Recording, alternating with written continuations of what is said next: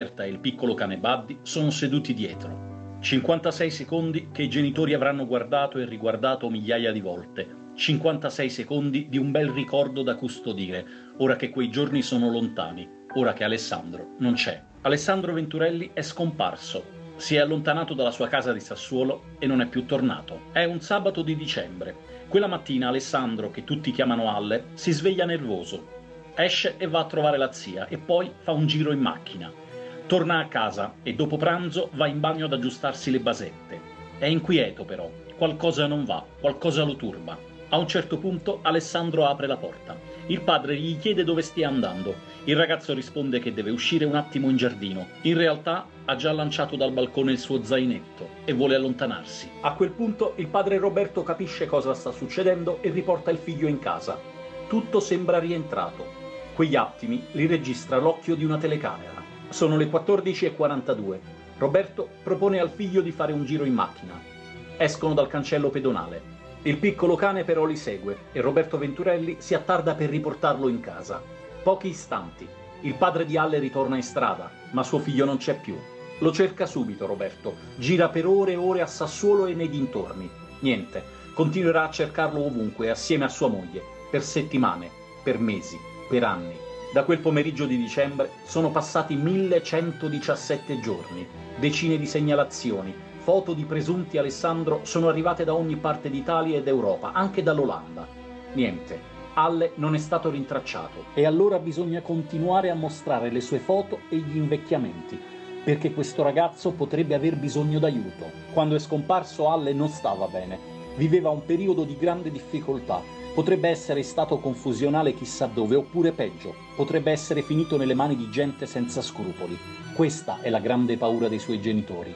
Roberto e Roberta, un papà e una mamma che non si sono mai arresi, dopo più di mille giorni continuano a chiedere che le indagini vadano avanti, che Alle venga finalmente ritrovato.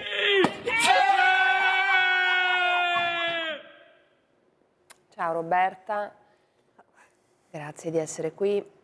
Grazie a voi, chiedo scusa, ma io qua piango tutte le mie lacrime. Eh, lo so, amore mio, è normale, sono le lacrime di una madre che cerca il proprio figlio, sono le lacrime di disperazione, di non sapere dove è finito Alessandro, se qualcuno gli ha fatto del male, se è finito in giri sbagliati, se è scappato per proteggervi, eh, se non si fa sentire perché ha, ha paura che qualcuno gli faccia del male, se non lo trovano fa del male a voi.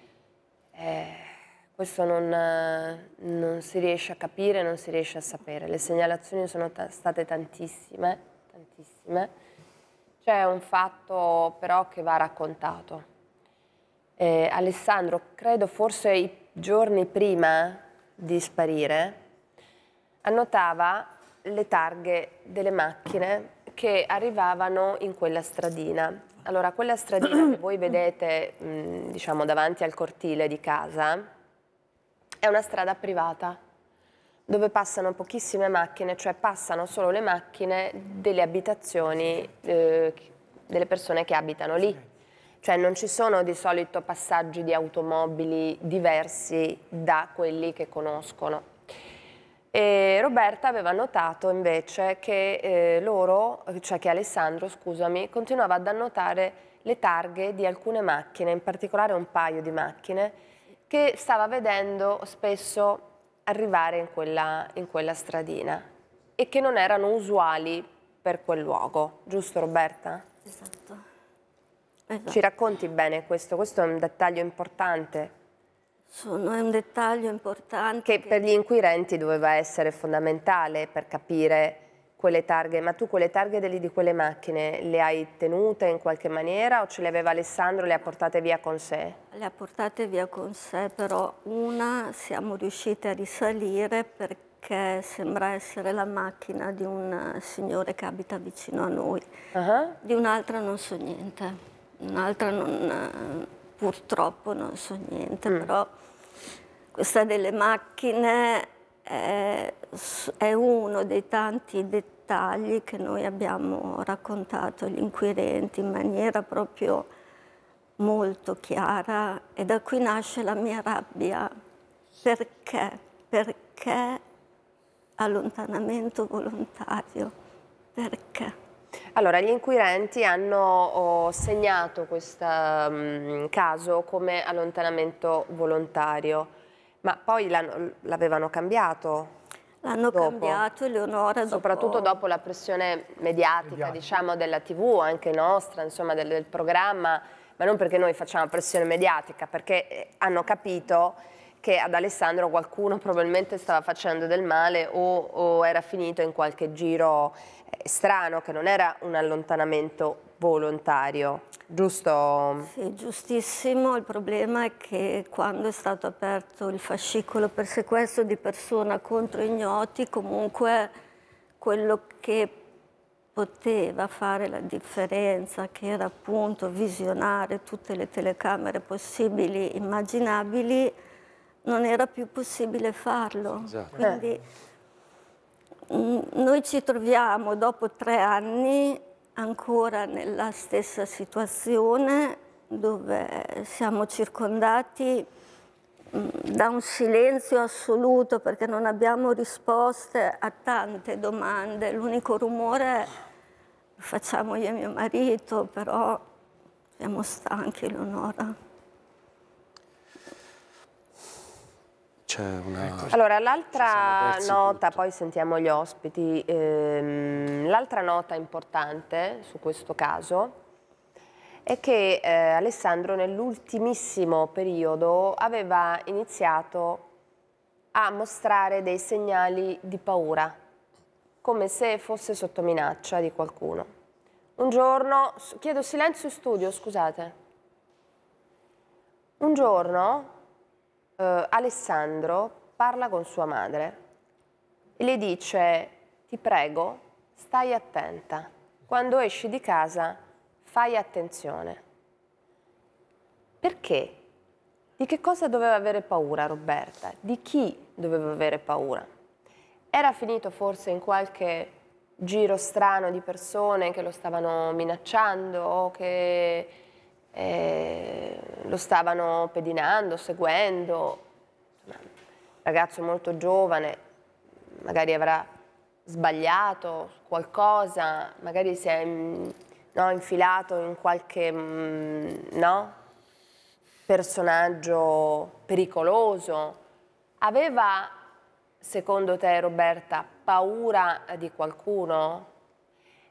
Lui continuava a dirti che aveva paura, ma tu non sei riuscita a capire, lui non ti voleva raccontare tutto, non ti voleva parlare nella totalità di quello che aveva dentro, perché forse lo doveva nascondere anche a te, forse come lo sta nascondendo anche in questi eh, anni, come lo ha nascosto in questi anni, per proteggerti.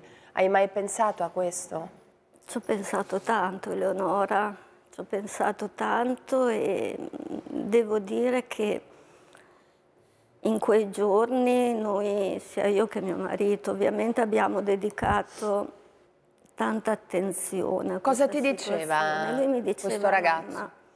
io mi sento manipolato, io ho paura, mamma stai attenta quando vai in giro che non ti facciano del male prendeva appunto le targhe di queste due macchine, ha dormito con me per dieci giorni prima di allontanarsi, cioè era proprio in uno stato che lui ha manifestato chiaramente come si sentiva.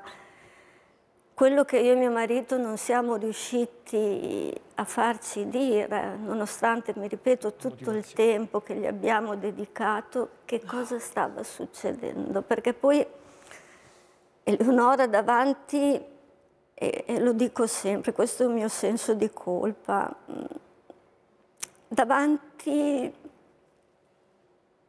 a tanto malessere, io volevo rispettare i suoi tempi, volevo, ero, volevo fargli capire che ero, ero lì e che ero lì per aiutarlo, per ascoltarlo senza però fargli una pressione troppo forte, perché avevo paura di farlo stare peggio.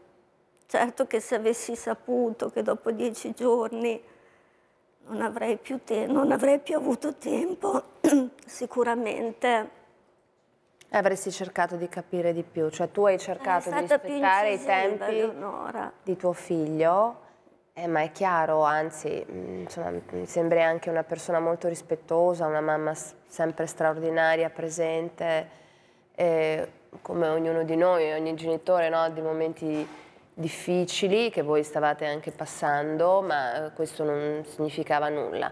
Tu hai avuto l'impressione che quando ti diceva mi sento manipolato, si sentisse manipolato da qualcuno di esterno, di fuori dalla famiglia? Io ho pensato di sì e proprio per questo, visto che con noi non si apriva, l'avevo portato dallo psicologo due giorni prima per cercare di mm. capire se... E, lo, e allo psicologo lui che cosa ha detto? Non ha detto niente di diverso di quello che ha detto a me. Fra l'altro Eleonora, lui ha voluto che io lo accompagnassi in questa seduta, quindi io ero dentro con lui. Eh, dottoressa... Eh, è interessante questo fatto. Ha voluto che lo accompagnassi, come dire, aiutatemi in due, se devo dire qualcosa, ma evidentemente se c'è, allora sono due. O sta talmente male che è una, un delirio persecutorio nel quale dice voglio tutelare i miei genitori andando via oppure non voglio, non so, questo non lo sappiamo perché non abbiamo, però il fatto importante è che non è riuscito a fare un aggancio per dire come stava, né dire sto male, penso, ho fantasie, mi sento o dire è successo qualcosa. Ecco, io mi ricordo queste trasmissioni, Eleonora, che tu hai fatto tante volte. Adesso me le ripercorriamo perché ci sono Fino, tantissime. Ora, è possibile che lui non ha visto il segnale che non gli è stato dato, quindi un motivo di nascondersi ce lo avrà, o perché sta male o perché c'è qualcosa dalla quale vi tutela, si tutela e vi tutela. Questo è quanto, Io, fra l'altro, voglio dire una cosa a proposito di questo discorso Ovviamente il mio portarlo dallo psicologo era un capire se certo, era certo. qualcosa che stesse male. suo che stesse male oppure la speranza di dire magari con una persona esterna si, si apre. Certo. Okay. Quello che però in questi tre anni ovviamente io valuto ogni minuto, dico, se fosse stato veramente così male, da fare quello che ha fatto, nei giorni successivi avrebbe avuto, secondo me, degli atteggiamenti che veniva notato da qualcuno e siccome noi abbiamo diffuso immediatamente la scomparsa di Alessandro, mi chiedo, qualcuno lo avrebbe notato? Secondo me sì.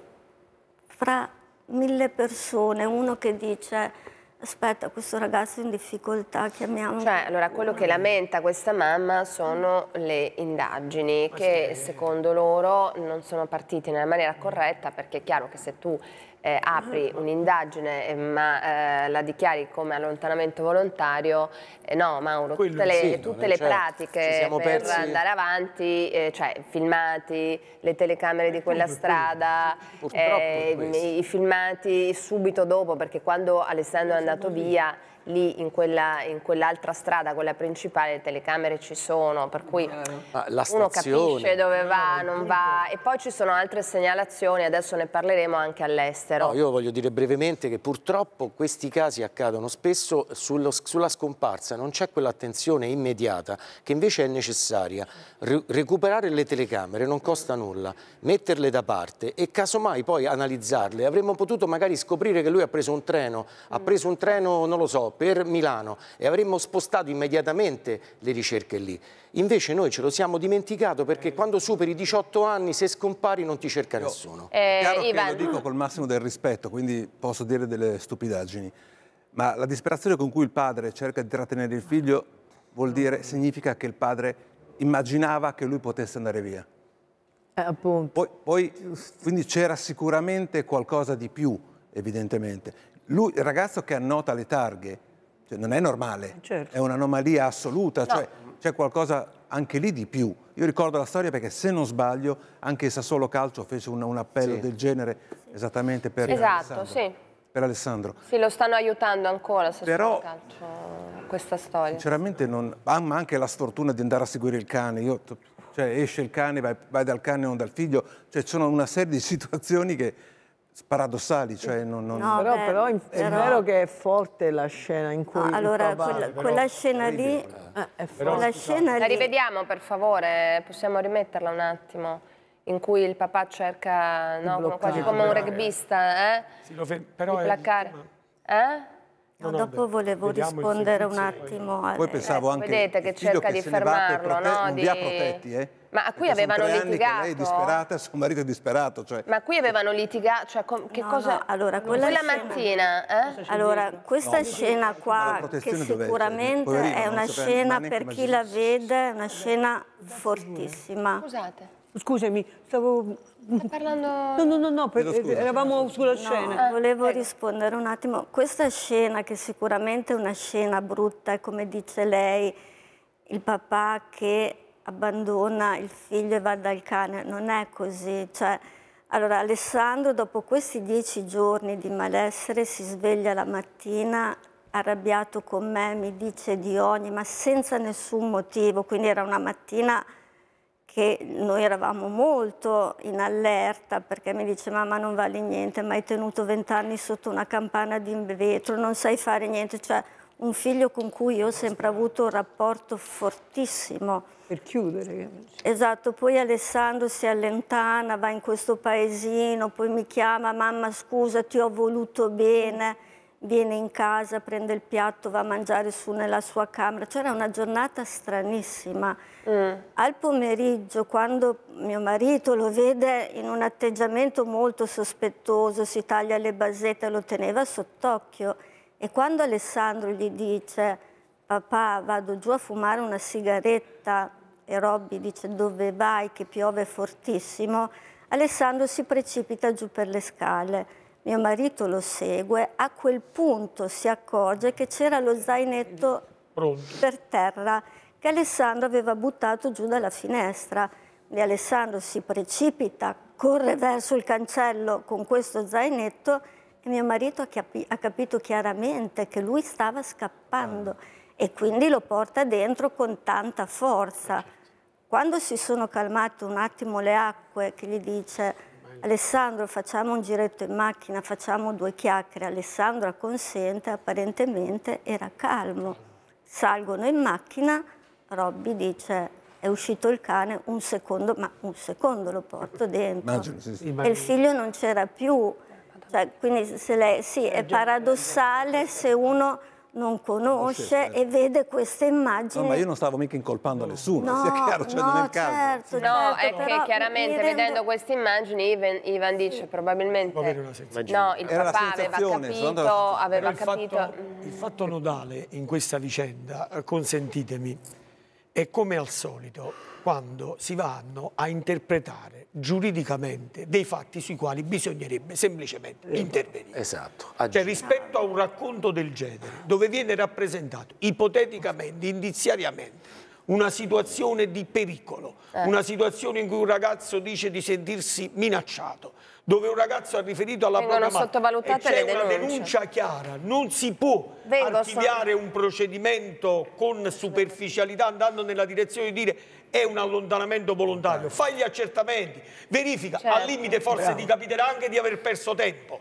però in quel modo vai a determinare le condizioni di sicurezza rispetto a allora, quello dell'interrogativo familiare. Eh, è quello il tema. Vengono sottovalutate tante denunce così. Allora, ascoltiamo una delle prime segnalazioni che sono arrivate a Padova.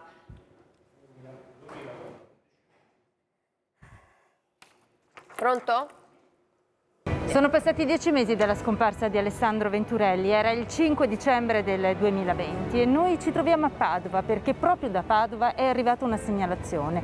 Una donna ha contattato la mamma di Alessandro, Roberta, segnalando la presenza di un ragazzo molto somigliante a suo figlio. Lo avrebbe visto all'interno di un locale. Noi proviamo a cercarlo proprio qui, in questa città veneta.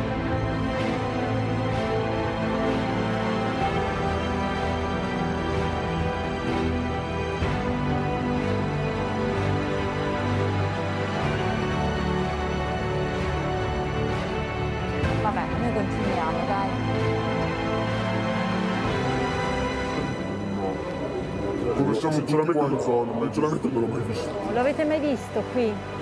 Sinceramente non mi ricordo, mi dispiace. Devo girare, ma è tanto che non lo vedo, l'avevo visto tre volte di sfuggita. Cioè tu pensi di averlo visto? Io vedere lo si vede. Ha dei tatuaggi sulle braccia, agli orecchini, ha qualcosa? Sì, lui si è tatuato qua. Tatuaggio per una cappella. Sì, due amici sempre con Alessandro. Ma si chiama Alessandro? Sì, sì, mi sembra di sì. Dove potrebbe averlo visto? In stazione, signora. Allora, qui avevano detto l'hanno visto in stazione, poi ci sono state delle ricerche, ma sembrava non fosse lui, comunque se era lui, cioè no, l'uomo del mistero, no? O questo ragazzo che è stato visto, che forse gli assomigliava, ma non era lui, ma forse era lui, cioè diventa tutto eh, difficile. Sicuramente si cerca però eh, nelle stazioni, nei parchi, nei, in quelli che noi definiamo i non luoghi, cioè dove eh, le persone, ad esempio senza fissa dimora, eh, abitano no? e occupano questi non luoghi perché eh, appunto sono eh, come dire ehm, erranti. Dunque pubblicità, adesso mando la pubblicità, fra poco noi manderemo un'inchiesta che abbiamo fatto su questa scomparsa perché siamo stati ad Amsterdam e mh, vedo l'avvocato, il vostro avvocato collegato, fra poco vi mostreremo tutto quello che noi eh, abbiamo scoperto e dove eh, ad un certo punto ci siamo fermati, eh, arrestati anche noi. Eh, perché? Perché non si riesce più ad andare avanti per questo motivo eh, del quale parlava prima Roberta, cioè c'è bisogno no, di fare un, un upgrade eh, per il procedimento di indagine anche all'estero. Allora, fermi lì, 30 secondi di pubblicità e poi ritorniamo.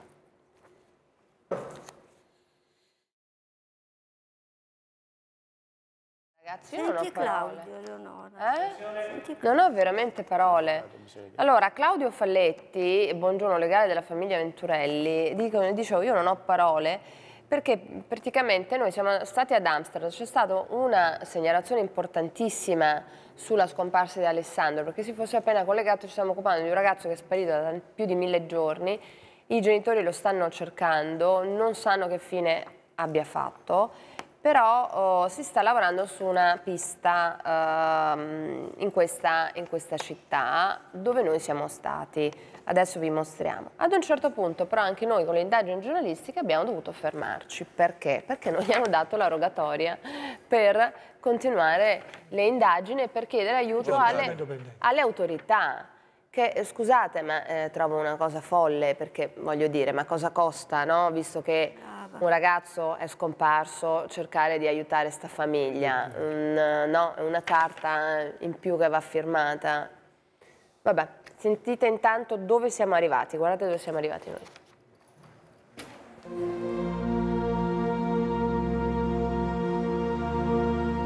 Se immagino Alessandro in questo momento, lo immagino come non è mai stato, cioè disordinato, forse neanche troppo pulito. Non faccio fatica a pensare ad Alessandro come era quando era a casa, molta fatica. Amsterdam da sempre una città particolarmente amata dai ragazzi, molti dei quali italiani ed è proprio tra loro che decidiamo di cercare Alessandro. Sinceramente no, ma condividerò le foto con i miei colleghi per fare un passaparole e cercare di trovarlo. A Italia Television. Oh, eh, io l'Italia? Italia. Vengo da Parma. Questo ragazzo. Se abbiamo visto? Eh. No. Senza utilizzare documenti come può muoversi in questi paesi? Senza utilizzare documenti e non si può trovare lavoro. Magari si può trovare un lavoro in nero.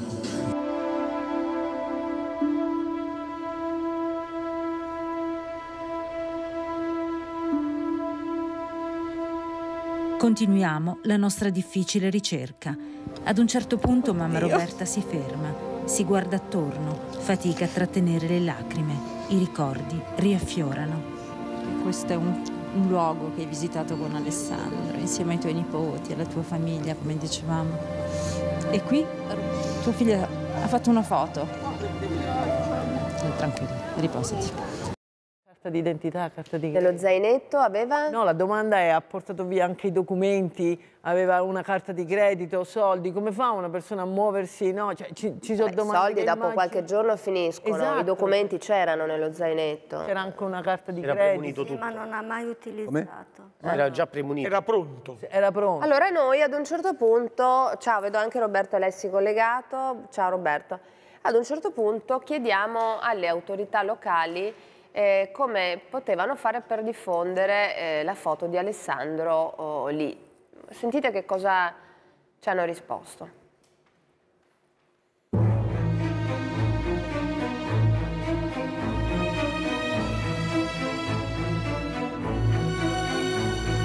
Il nostro viaggio continua fino al centro della città di Hilversum. Roberta non si arrende, chiede aiuto alle autorità locali.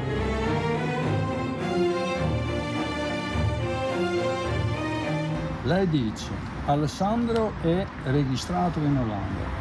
Quando lui fa qualcosa con sua carta di identità, ehm, video in macchina troppo forte, la polizia fa così, stop, eh, direttamente, plup, Alessandro Venturelli, scomparso, eccetera, eh, lui è registrato, ma fino adesso Niente, non niente, è stato... Niente.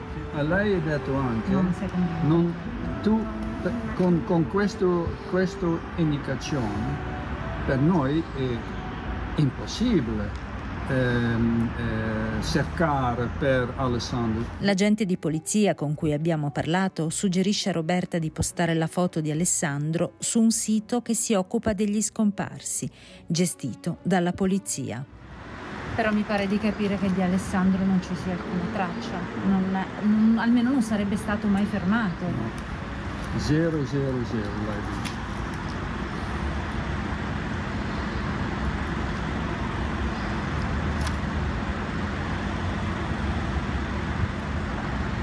In 57 anni non hanno mai fermato neanche. Quindi andiamo avanti. Il mio venire in Olanda non esclude tutto il resto. Certo. Quindi per me rimane tutto aperto, tutto, qualsiasi possibilità. Questa situazione ha distrutto la nostra famiglia. Ha distrutto la nostra famiglia. Lo so, Leo, ragione.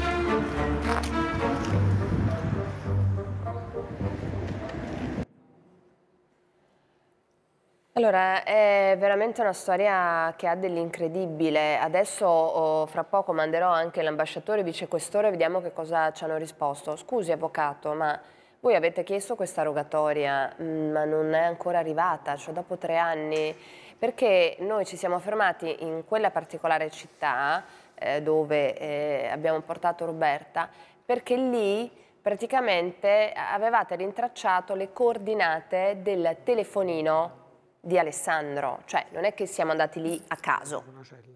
Sì, allora innanzitutto buongiorno a tutti, ci terrei a dire una cosa, si è parlato di allontanamento volontario e su questo punto vorrei fare una precisazione, anche perché se Alle avesse avuto intenzione di sparire in maniera volontaria avrebbe trovato qualsiasi momento della giornata o qualsiasi altro giorno per allontanarsi senza la presenza dei genitori.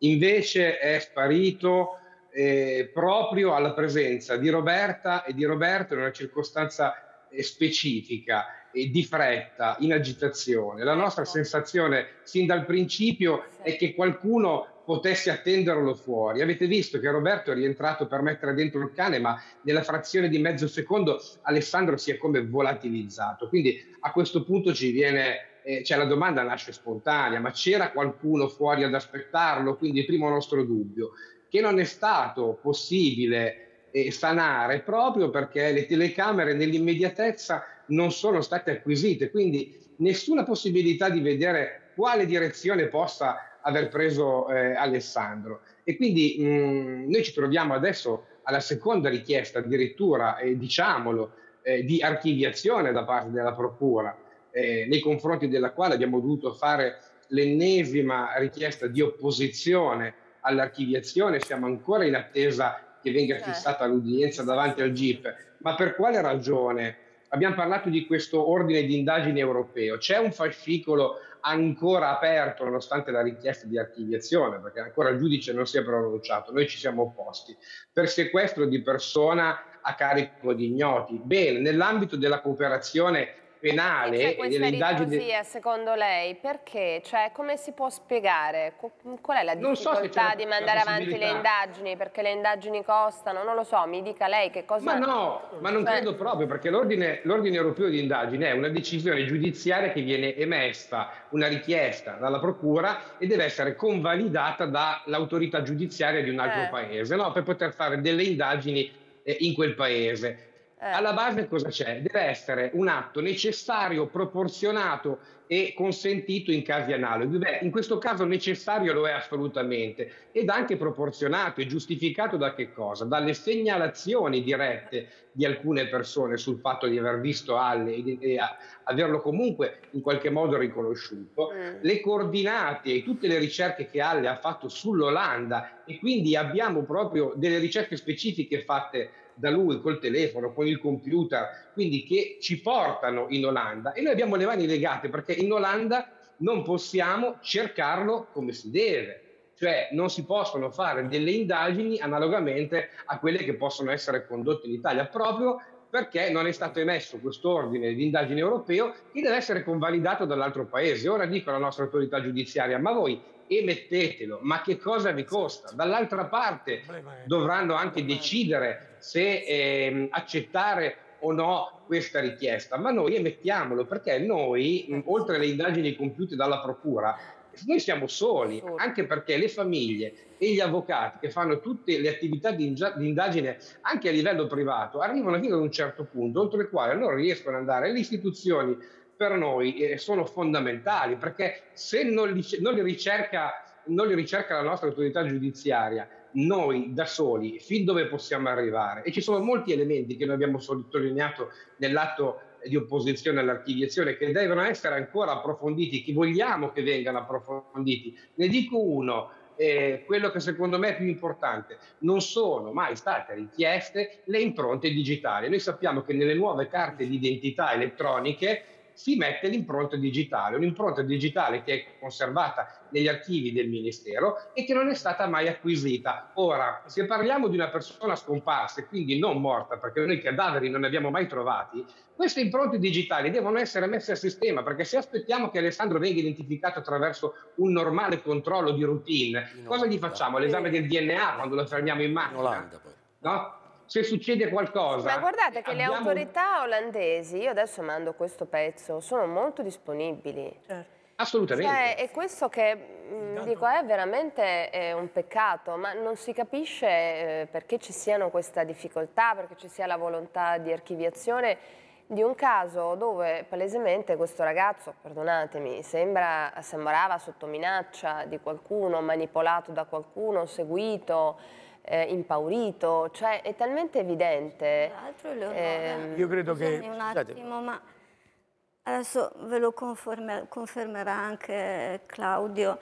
Allora, a noi, io torno dall'Olanda in aprile circa, no, fine marzo, dove mm -hmm. mi danno questa massima disponibilità. Mm -hmm parlando con l'avvocato, sì. ordine di indagine europeo, loro cosa fanno? Mi manda, la nostra procura di Modena mi manda la seconda domanda d'archiviazione, fine aprile, primi di maggio, a cui segue un silenzio assoluto, perché è dicembre, Claudio, ma è dicembre, non abbiamo perché nessuna sottovalutata la, la, la, la sono cattiva, Sono cattiva, hanno fatto talmente tanti errori che mi vogliono portare allo sfinimento. Prima o poi questa mamma si stancherà. no, no, no, no.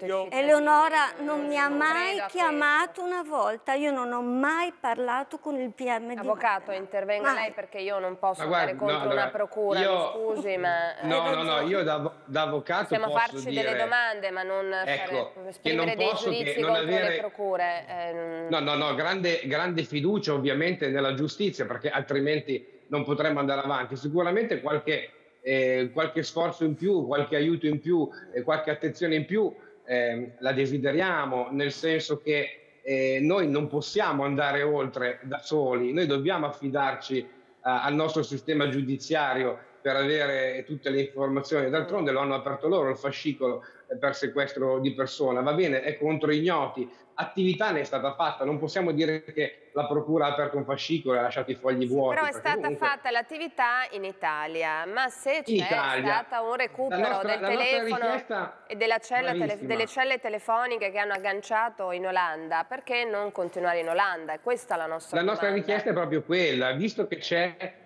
un segnale anche fuori territorio, e noi dobbiamo approfondire le ricerche anche fuori territorio, ma da soli come facciamo? Sappiamo che esiste questo strumento, abbiamo a disposizione la possibilità di un ordine europeo di indagine che metta l'altra autorità giudiziaria nelle condizioni di poter indagare effettivamente e allora noi eh, desideriamo con tutto il cuore che questa attività possa essere compiuta, anche perché abbiamo molti elementi da, da approfondire ancora. Eh, noi Alessandro, per noi Alessandro è scomparso, Alessandro non è morto, scusate la, la crudezza, quindi uno scomparso deve essere cercato e deve essere trovato. Noi sicuramente continueremo senza sosta a cercarlo, ma abbiamo ovviamente eh, necessità eh, di aiuto da parte delle istituzioni.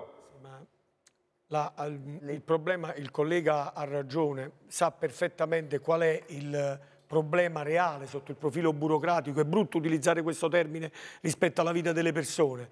Il dato drammatico è questo. Nel momento in cui viene fatta una richiesta di archiviazione, il magistrato e il pubblico ministero si produce in un atto che è l'atto finale rispetto alle indagini svolte fino a quel punto è evidente che poi c'è l'opposizione della difesa e ci sarà un'udienza. Il problema è la lungaggine della fissazione dell'udienza.